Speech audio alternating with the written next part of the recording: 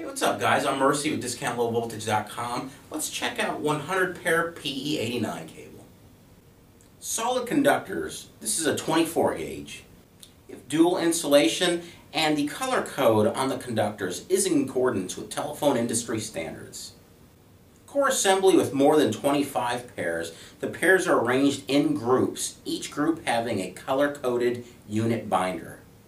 You have a filling compound, an ETPR compound, aluminum shield, and this cable is intended for duct and direct burial installations where protection against water and moisture entry is required.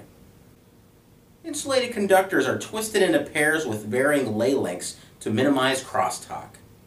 Now we also have PE89 cable available in other pair counts, 6, 12, 25, 50, of course, 100, 200, 300, 600 pair and above. So we should have you covered for pretty much anything you're looking for.